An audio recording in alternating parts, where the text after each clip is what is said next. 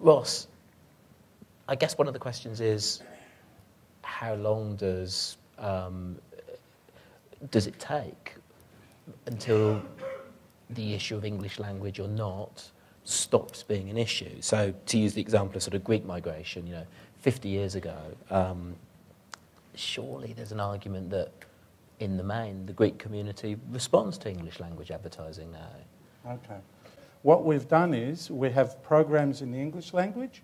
Uh, we have um, the universities. We have a, you know, all the students and the body of the universities have their own program.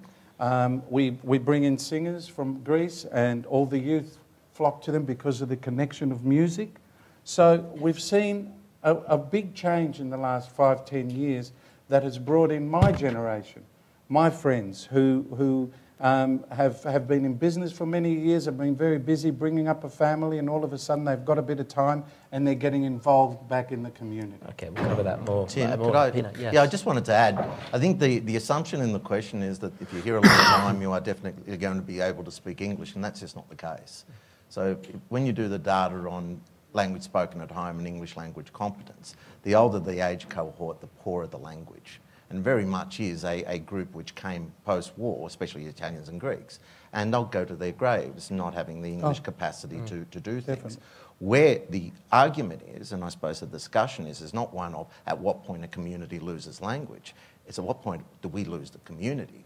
So that same Italian and Greek Connecting. community is dying off at a rate of 5 to 10% every five years. Now that's a great point. And actually, Steve, I know you've been looking at some of the Roy Morgan research into uh, what that says about where, where we're at as a community or communities. Uh, What kind of leapt out at you in that? Well, firstly, the size of, of what we're dealing with and the, the diversity of languages in it's very important in the context of today that you understand that this new uh, newspaper uh, or print owner inspired piece of research called EMMA does not survey whatsoever anyone from a non English speaking background. So they are completely and utterly ignoring the total Australian community. Morgan will tell you, not that I'm selling Morgan, but Morgan. You are a little bit. you- but I'm Endorsing. Send them a message, Tim. Pay me. Morgan say, look, with great difficulty, we, we recruit and we survey these non-English speaking background uh, people, but they're part of the Australian population. We need to know what their habits and behaviours are. Uh, not that they've got extensive um, non-English speaking background media covered, but at least they cover the languages and the purchase decisions and broad media consumption. Uh, so, uh, from my discipline, which is to work out strategies and to work out ways of communicating, data is everything. You know, understanding what pathways, and I learned stuff today. I'm furiously taking notes from all the other speakers at the table because it's sparking off ideas about how, when I get the next brief, I could handle it better and who I could go and ask questions of.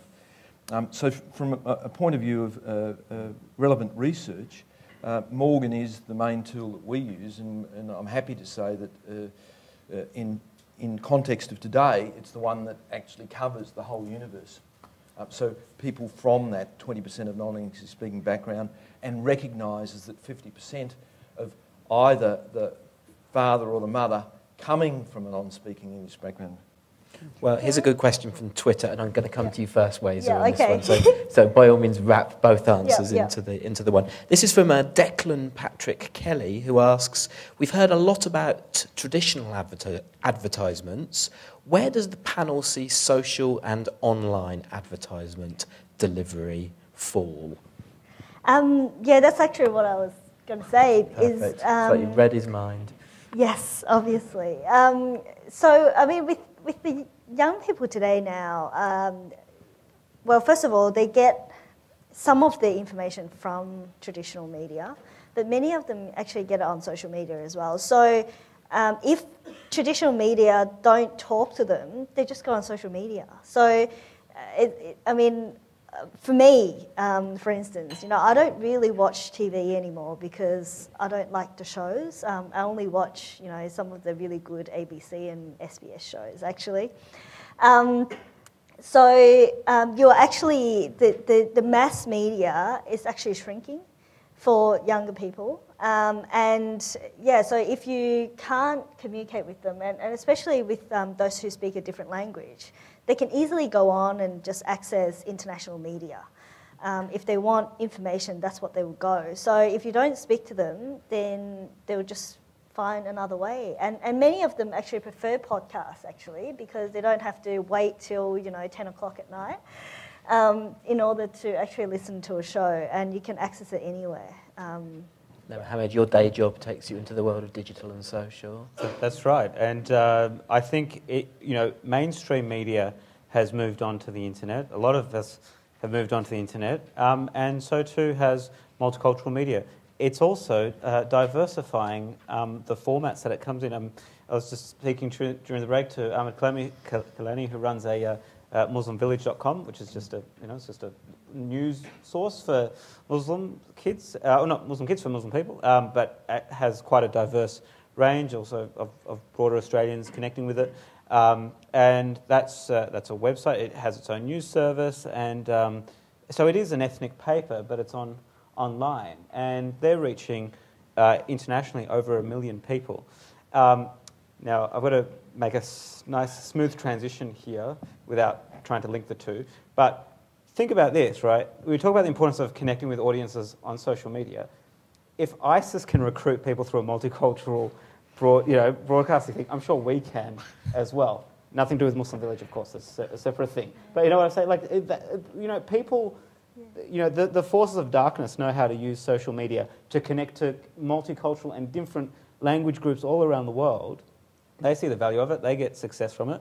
Uh, I think we absolutely should be thinking about how to be creative. I mean, that's, that's the name of the game. If you're not creative, you're going to fall behind. And that's an interesting point. What, why is it? Why, why are they finding progress that way, do you think? Because it's reaching people. That's where, that's where people are. Um, and and, and, uh, and they, people are in their bedrooms at night on, on social media or on websites. Um, and that, I mean, that's one avenue. I'm sure if they could get an ad in you know, Neos Kosmos, they probably would do that as well, but they're not, probably not going to get that approved. So, you know, so it's, it's, about, it's about being creative, it's about diversifying, um, and it's about reaching people where they're at. Think- here's the sorry. thing. Sorry. Here's I'll come. I'll, come, I'll come to you seconds. Okay, no worries. No, I was going to say um, that's that's where I suppose what Ralph was saying that it actually touches people's hearts. I mean, that's what you need to do in order to actually get people's attention. Because if you don't do that, um, then yeah, okay, well the information is there, but you know I, I, I'll forget it tomorrow.